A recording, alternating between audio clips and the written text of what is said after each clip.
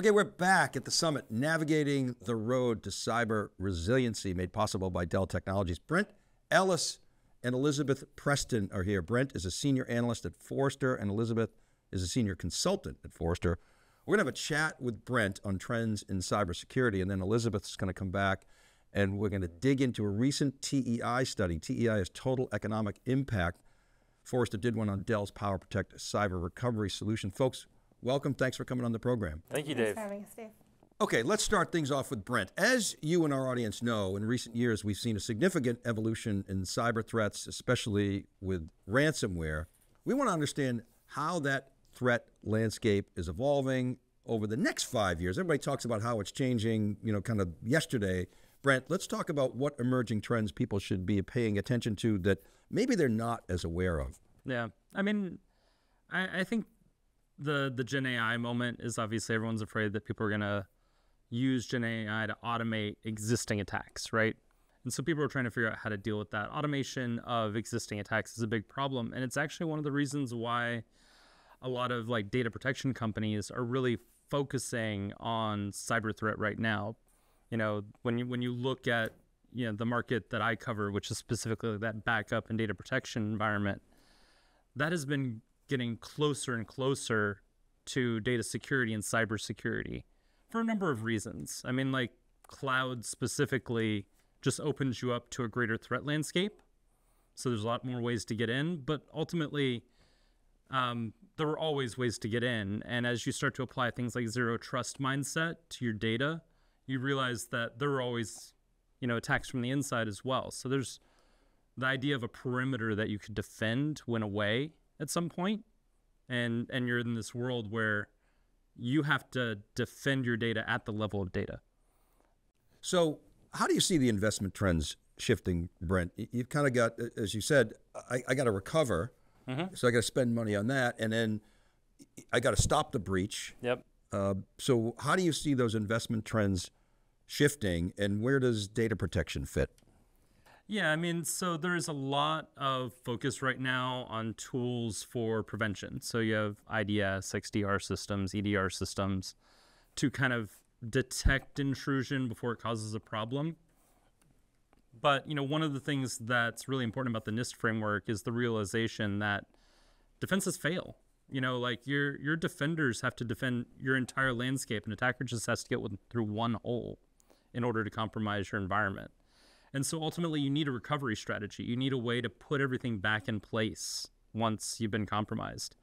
Um, but not just put it back in place. We're not talking about like your old school backup system where you just pull stuff from tape and put it back in there because you have things like where uh, a malicious attacker has just been sitting in the environment for months and you can't go and restore that. There's been plenty of examples where companies have gone and restored information from backup, and they basically restore the threat to their production environment, and they're just attacked again. Um, so that's that brings cybersecurity to your data protection environment. And there's two responsibilities that those vendors have to to take into account. One is actually checking the backup both as it goes into the archive and as it comes back for recovery for threat, you know, indicators, indicators of compromise, but also the actual backup system itself. You have to make sure you're using things like MFA and you're using encryption and you're looking at the ability to compromise the actual backup system because there's also been examples of people basically owning your backup system and then they can turn off your backup jobs then they initiate an attack Kind of changes the notion of RPO, doesn't it? So, Oh, yeah. as opposed to RPO being time based, it, it's now when can you actually verify that the last backup you took that you're going to recover from is Right. actually legitimate, right? So, so it, it, it, it really is a much more complicated situation, isn't it? It's a much more complicated situation, and it means that um, enterprise class backup vendors are bringing more and more sophisticated products to market. You know, they're bringing tools that help you identify through multiple different backups what a clean restore set looks like. Because you might have situations where, like, one file was compromised in one backup, but not another.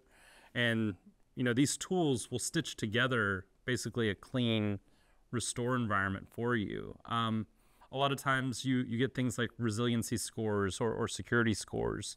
They'll look at data coming in to your archive and they can tell you what was encrypted, what was not encrypted. They can tell you information about your PII data, what was at risk, what wasn't at risk, and kind of give you an A minus B plus sort of scoring for, for your environment so you can kind of incrementally improve your, your production environment as well as your backup. But I want to I want a 4.0 every time on that. right, I right. Live with a with an 85. Let's talk about. Let's come back to a- a- AI. I almost think there's like you know pre Chat GPT AI and Yep. post, and, and everybody just wants to talk about Gen AI, and for good reason. Right. But ML has been used in these environments and these scenarios for quite some time. How, how do you see, especially related to that last conversation, how do you see AI, ML, you know, broadly, but then specifically Gen AI participating in this whole sphere? Yeah, I mean, so the AIML world has been a huge boon for actually improving the capabilities of backup systems to find, you know, quote unquote indicators of compromise. So essentially finding a malware signature, finding a ransomware signature, looking at behavior analysis. You know, some of the tools out there will analyze you know, permissions changes on volumes. You know, one particular account suddenly went from being like a standard user to an admin for, for a particular storage volume. That that sort of is flagged. Um, you have more integration with you know security event management tools like SIEMs and SOARs that raise those um, those flags up so that the proper people can kind of look at the production environment while at the same time you have your, your backup people kind of ready to recover when you need to. Um, so AIML generally has just kind of made this task possible because otherwise it was just a gargantuan task that you probably would not have any success on. I think what Gen AI does in this environment, and this is still like a fast evolving place, right? I mean, I saw like my first example of Gen AI integrated to a backup system, you know, earlier this year, and at that point, I'm like, what, what, what is that? Um, but that that is rapidly maturing as you start to think about being able to ask very common questions like, are all my systems backed up? And and being able to do that at the board level, exposing that information to people that are not responsible for the backups, that don't know how to use that tooling, but need information about it. Because this is no longer just like an I and O like technician conversation. This is a board level conversation. They need to be able to show that they're mitigating their risk of the data that they're stewards of in the environment. So, kind of, if I can call it that, traditional uh, ML deep learning, maybe it's under the covers. There's a new interface of a natural language interface. Is, is which of my backups failed because backups still Yep. fail, and then you can surface that. What about? And it leads me to, to compliance, which is kind of an. I mean, you think about the you know the shared responsibility model in, in cloud. Is there an analog in compliance around uh, data protection and backup and recovery? What's the vendor's responsibility and what's the customer's responsibility? How can organizations sort of figure out the compliance mosaic? So this is actually something that I think um, has best been illustrated with things like ransomware guarantees. Not every vendor has one, but the thing is, it basically puts a certain amount of responsibility on the vendor for saying like we will be able to recover your environment, but it also means that the vendor can place restrictions on the client for actually implementing a secure environment. It means that you also have this sort of motion where vendors tend to implement like a customer success type function to validate that deployment of their systems actually meets their requirements in order to do the guarantee. Um, so I, I think actually that's the most useful aspect of things like ransomware guarantees. It kind of has this shared responsibility on the part of the vendor and the client to make sure that that guarantee is valid. It means that people implement better systems. You don't have people implementing a backup system and then just throwing all their data on an unencrypted NFS share. so, um, because then the vendor's like, dude, you put on an unencrypted NFS share. We're not going to pay that. um, but it also, Understandable. you know, you, you also have like the requirement around things like, um, you know, ransomware insurance or cyber threat insurance. Those um, guarantors also want to be able to know that the environment that they're going to be potentially paying a claim on was, you know, at least in uh, a standard level of security and, and kind of due diligence. So speaking of ransomware, I'm interested in sort of your research and any perspective you have on best practice around ransomware. O- Obviously, we talk about air gaps, but I, Mm-hmm. Yeah. I go back to like I remember, you know, go back to Stuxnet, Yeah. Oh, and the Natanz uranium enrichment facility was air gapped, Right. but they got through. Right? Oh, yeah. Okay, they put a stick in there, and there you go. Um, so there's there's more than just air gaps. What's best practice around ransomware recovery? I mean, so we, we have, at this point, it's a little long in the tooth, but there's a piece of research that one of my colleagues, Naveen Chhabra, wrote a few years ago called Four Technologies to Help Defend Against Ransomware. And he talked about multi factor authentication, talked about, you know, there's a there's a limited role for, for air gaps in, in that world as well. Um, you also need to have you know immutable storage and write once read many storage so that you don't have this situation where the actual backup gets changed over time you want to make sure that it's multi-factor so that if one person's account is compromised at least you go to a two-factor authentication system possible a multi-person authentication system for doing things like deleting backup jobs or compromising the backup system generally um, I, I say like there's a limited role for air gap for just the example that you mentioned. Like there's always ways to get around an air gap. Um, not to mention that the backup system itself gets around an air gap. Otherwise, how would it put the data into the vault? Um, so there, there's Yeah, there's a time that it's yeah, connected, right? Right, Yeah. right. There, there's a connected time, and it doesn't necessarily mean that an attacker has to wait for that time and then like use that to get in. It could just be that they're embedding a Trojan horse that's going to activate when the backup is restored. Laying in wait. Right, right.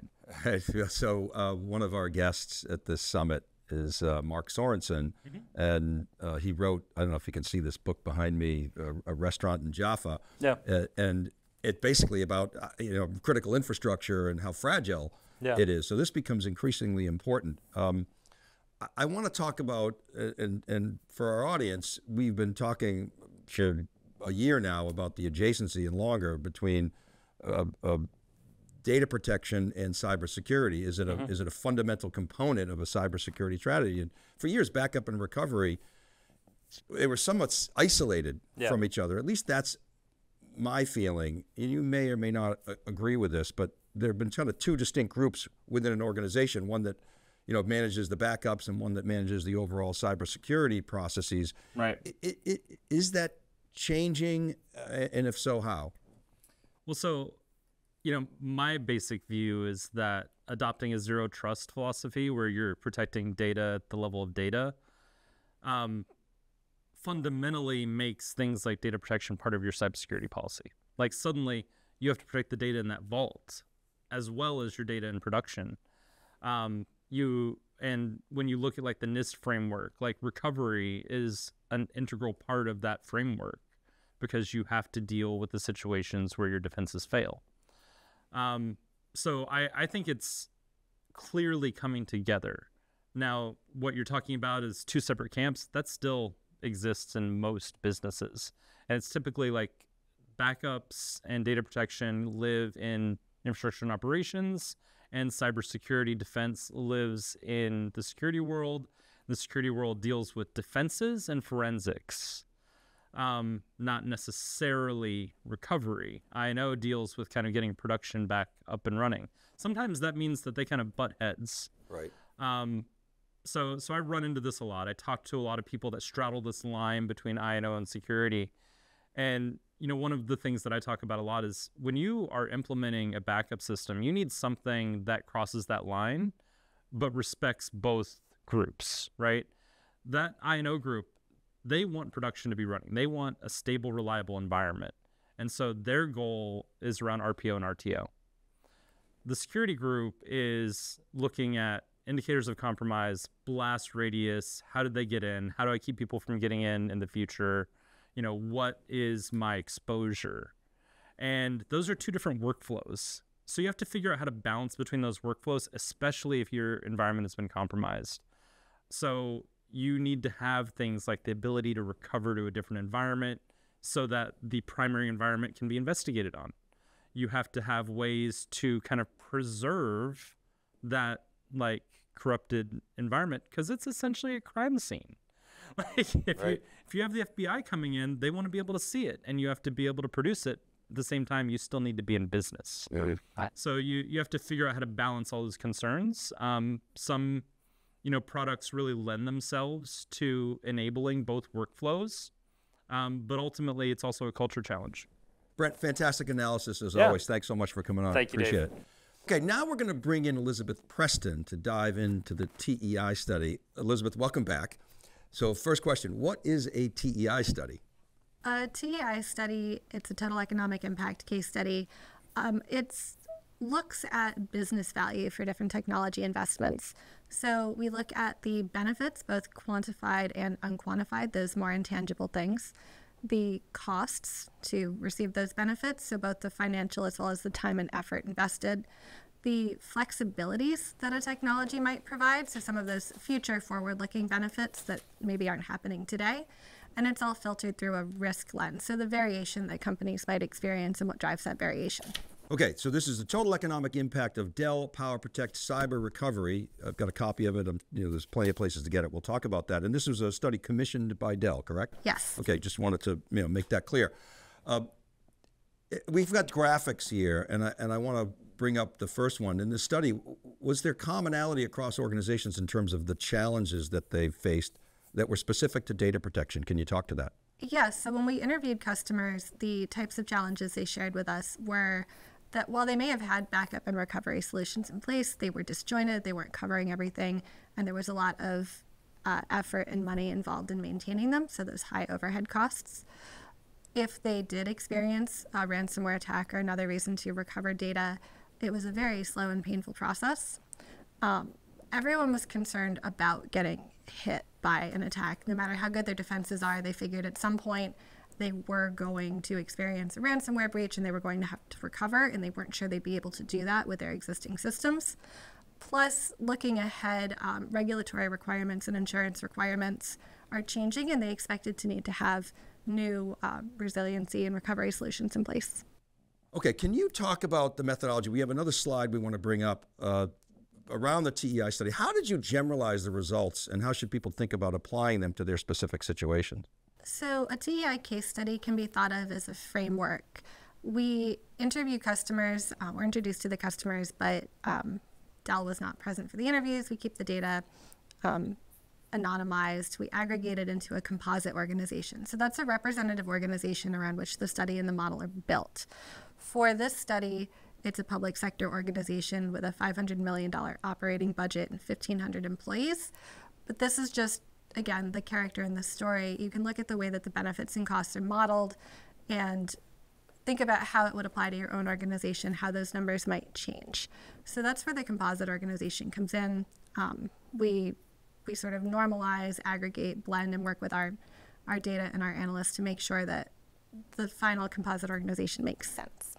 So in that example, the the budget essentially of that that public organization is sort of an analog to a, a, a revenue Yes. a metric of a of a of a public company or a, or an- a, a private company in the public uh, or in the in the commercial sector, right? Exactly. And employees are employees, and those constituents could be thought of as customers. Okay, we have another slide, and we're going to talk about the metrics. Can you share any specific business impacts that you saw in the study? Yeah, so for the composite organization, based on the interview data that we collected, we showed for the composite an 80% reduction in hours spent on recovery, which translates um, to a benefit of labor savings in recovery, right? So it took a lot less time and effort to recover from a ransomware attack. We also saw a 75% reduction in downtime for the composite organization, which means that your employees can, can get back to work sooner. So, lost productivity is reduced, as well as the financial business impact, you know, like a revenue loss situation. Um, because the business could get back up and running sooner, we saw less costs there. And then, not noted on this slide, but also important, I mentioned those disjointed backup and recovery solutions that people said that they had. So, we modeled the ability to retire some of those legacy systems, which meant um, time and effort savings as well as some financial savings. So, those are the benefits. You can see we have an 18 month payback period for the composite organization. And the other part that goes into that is the costs. So, there's a financial cost to Dell and, and partners for implementation and the hardware and software and the subscription costs, and then um, internal costs for implementation and ongoing management. Okay, so you have a project, you have a, an existing environment. Sometimes people call it as is, and then you model out the, the to-be. Uh, and then do you do a cash flow model as well and a full NPV and cost of capital and all that other good stuff? Yes, and that is all in the full case study, which um, um, you'll be able to find online with Dell. Yeah, great. We'll we'll put that link in the uh, in the show notes here. Um, there also, in my experience, Elizabeth, in these types of studies, there's there's a lot of times either softer benefits or harder to quantify benefits that are like telephone numbers. I mean, a lot of times that's the greatest benefit. CFO, she or he necessarily won't buy into that, but there are clearly other benefits around productivity or, or other cost savings or just you know customer retention. Uh, there's another graphic we have on these sort of softer or, or harder to quantify benefits. I wonder if we could bring that up and you could talk to that. Sure. So, yes, we love to talk about unquantified benefits. These are often the most meaningful to the people we're speaking with. They just can't put numbers to them.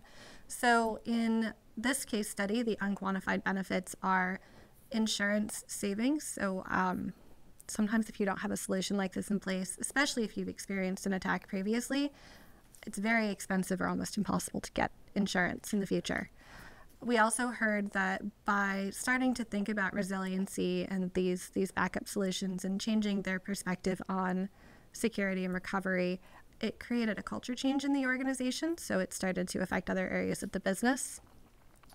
Um, on a more tactical side, for organizations that were experiencing audits, they could kind of check a box and say, yes, we have a recovery solution in place. And it made that a lot less painful. Employees were happier, they felt better, they could sleep at night, which you can't really put a number to, but is pretty important. Um, people also felt that partnering with Dell provided additional benefits, um, ways to think about their recovery and security. And then finally, there's uh, technology involved in the um, broader implementation called CyberSense, which scans those backups as they go into the system and provides an additional level of assurance that the backups are good, that they haven't been compromised, and um, may make it easier to recover in the event that they need to. Yeah, those are those are some good ones. I mean, in, insurance, like when you put your the, the alarm system in your home, you get a discount on your insurance. But your other point is you might not even be able to get insurance if you don't have these things in place. These becoming board level uh, uh, uh, criteria, and and the audit is sort of the last line of defense. So you want to make sure you can check those bosses. Elizabeth, nice work. I really appreciate you taking the time and, and sharing the, the results of the TEI study. Thank you. Thanks so much for having me. You bet. Okay, don't go anywhere. We have more outstanding content coming your way from cyber experts. We have practitioners, technologists. You're watching Navigating the Road to Cyber Resiliency, the summit made possible by Dell Technologies. We're right back.